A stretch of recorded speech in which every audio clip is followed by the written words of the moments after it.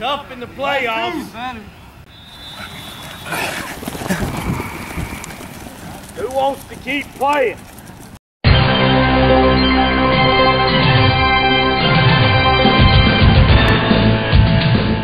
For four straight years now, the path to the 4A state football title has run through either Greeneville or Fulton.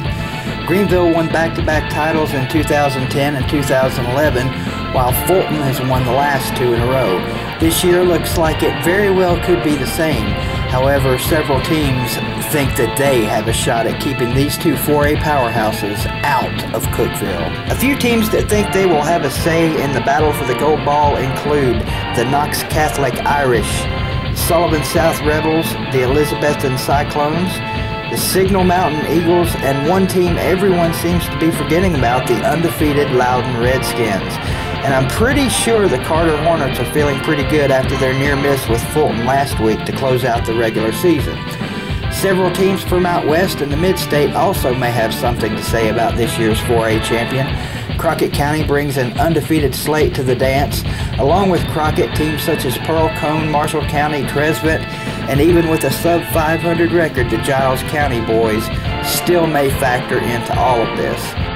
And it all starts this Friday in Greeneville on the hill at Burley Stadium as the Greene Devils host the upstart Carter Hornets with their new football coach, Jeff McMillan, coming over from Fulton and bringing in tow with him a few defectors from the Blackbird backyard.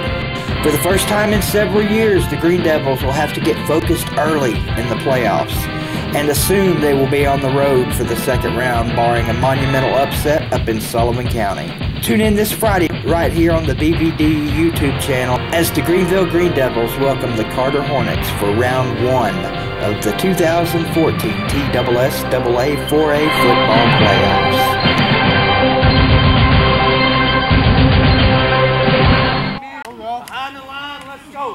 Playoff time. Little playoff conditioning going on here for the Greene Devils.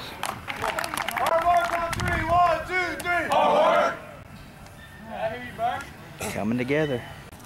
Who wants to keep playing?